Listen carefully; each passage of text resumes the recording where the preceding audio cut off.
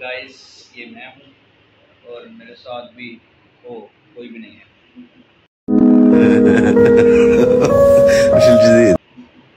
हाँ तो गाइस आज हम आए हैं आइस बार जिसके गोलगप्पे बहुत ही ज़्यादा है मशहूर। तो ये इनका मेन्यू है और मेन्यू में हमने जो सेलेक्ट किया है, मैंने वो फ्रेश आइसक्रीम और गोलगप्पे हैं। वैसे तो इनके पास कैरमल क्रंच भी होती है, लेकिन इनकी जो है वो फ्रेश आइसक्रीम बहुत ज़्यादा मशहूर है और इनके गोलगप्पे बहुत ज़्यादा मशहूर है। तो इंजॉय करते हैं आइसक्रीम और गोलगप्पे। अकेला जाना चाहिए कभी कभी अकेला भी टाइम स्पेंड करना चाहिए। तो हमने मंगवाए हैं गोलगप्पे जो कि बहुत ही क्रिस्पी है। oh देखिए कितनी शानदार है और ये देखते ही मुँह में पानी आ जाता है। तो जिसके मुँह में पानी आया वो पानी पी ले।